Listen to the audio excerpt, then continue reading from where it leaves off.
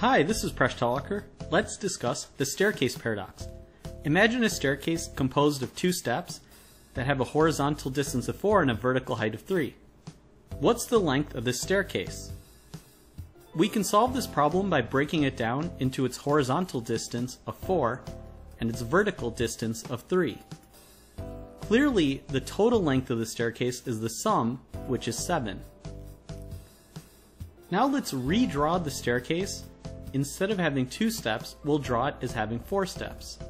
What's the length of the staircase now? Once again, we can look at the horizontal distance of the steps and the vertical distance of the steps and see that the length of the staircase is still 7. In fact, even if we change the staircase to have more steps, it will always be true that the total length of the staircase is 7, even if it's atomically small steps. Now comes the interesting point. In geometry class, if you had a right triangle with a horizontal leg of 4 and a vertical leg of 3, you would solve for the diagonal by the Pythagorean theorem. And you would find that the length of that diagonal is 5. And this is a paradox because how can the length be 5 and also 7 at the same time?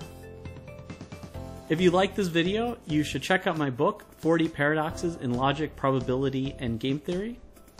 Please subscribe to my channel. I make videos on math and game theory. You can support me at Patreon to get exclusive rewards. Catch me on my blog, Mind Your Decisions, on Twitter at Presh Talwalkar, and you can get all of my books at Amazon.